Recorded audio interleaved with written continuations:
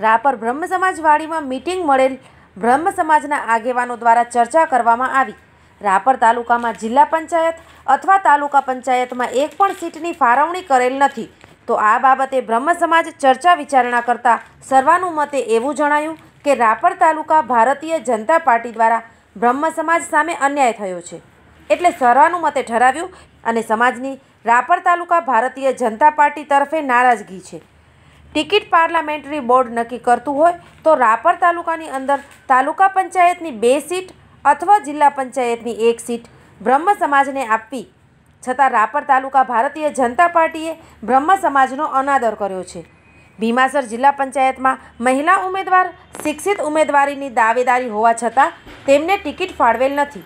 માટે રાપર તાલુકા બ્રહ્મ સમાજ હાલની તાલુકા અને જિલ્લા પંચાયતની ચૂંટણીઓમાં બ્રહ્મ સમાજ જે માંગણી કરેલ સીટો ઉપર પરચો બતાવો એવી ઠરાવીને નારાજગી વ્યક્ત કરી છે.